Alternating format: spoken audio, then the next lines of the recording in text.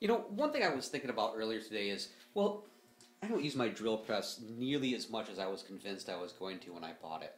Sure, you know, it does a lot of great stuff for me, and really when it comes down to it, the one thing I had thought about was it would make a really great mortising device. So of course, I bought the mortiser that attaches here to the, the quill, and it worked fine, but I didn't get quite the results that I was thinking I was going to get. Perhaps I just didn't have them sharp enough or something. But the thing that got me really thinking about why I don't use the drill press nearly as much as I thought I was going to happens to be, well, let's get some of this out of the way because obviously the only thing it's being used for right now is just a junk collector. But it's this baby right here, this this table. It's tiny. I mean, it really you can get just enough on there, but there's not really any room for a fence. Um, you know, you, you really if you were going to do like some sanding because you could obviously put a little drum uh, uh, drum sander on here and do some sanding that way. It, it, it just doesn't support the, the the material the way I want to. So I'm starting to think, you know what?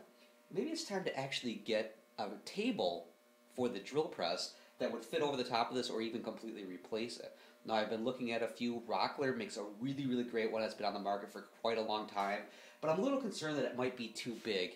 And I think Woodcraft has one. Uh, I bet Kreg probably would have one. I've got to do a little bit more research on it. Uh, but you know, one thing I do know is I just stopped by the Lee Valley website the other day, and they actually happen to have one that I think would probably work out pretty good for this. But who knows? Maybe I'll just take some of the scrap wood I have, and based on the ones that I'm seeing from these manufacturers, actually create one just for this. Kind of curious what you think about the drill press. I mean, how many of you have one? How many of you run into that same thing also, where you know the table is just a little too small? I mean, maybe I'm not alone on that one, or maybe I'm just overthinking. That happens quite a bit too.